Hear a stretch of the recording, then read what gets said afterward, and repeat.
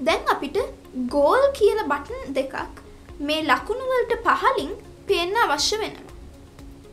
අපි මේ ගෝල් කියන බටන එක කලික් කරන හැම පාදකම අදාළ කණ්ඩායමේ ලකුණු ගණන එකකින් වැඩි වෙන්න අවශ්‍ය වෙනවා.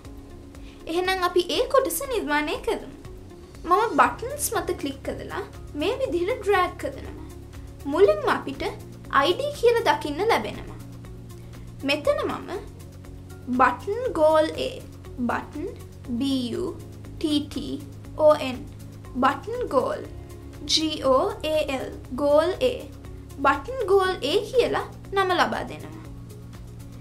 දැන් මේ ටෙක්ස්ට් වල තියෙන බටන් කියන වචනය වෙනුවට ගෝල් කියල ටයිප් කද ගන්න.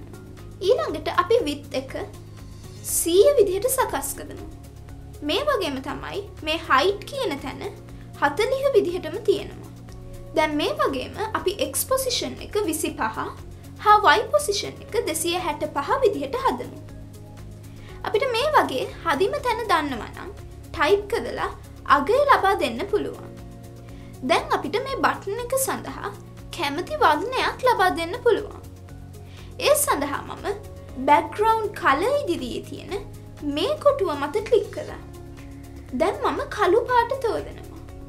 දැන් ෆොන්ට් සයිස් වලින් ෆොන්ට් සයිස් එක මම තිහ විදිහට සකස් කරනවා. ඔන්න දැන් අපි එක බටන එකක් නිර්මාණය කරලා අවසන්. දැන් අපි ටීම් B සඳහාත් ගෝල් කියල බටන් එකක් නිර්මාණය කරමු. මම දැන් මේ බටන් එක මත කලික් කදලා ඩුප්ලිකේට් කලික් කරනවා.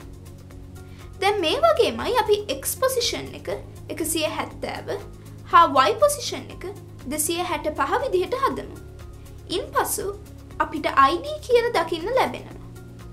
මෙතන මම button goal B button B U T T O N button goal G O A L goal B button goal B කියලා නම ලබා දෙනවා. ඔන්න දැන් මම buttons දෙක නිර්මාණය කරලා අවසන්.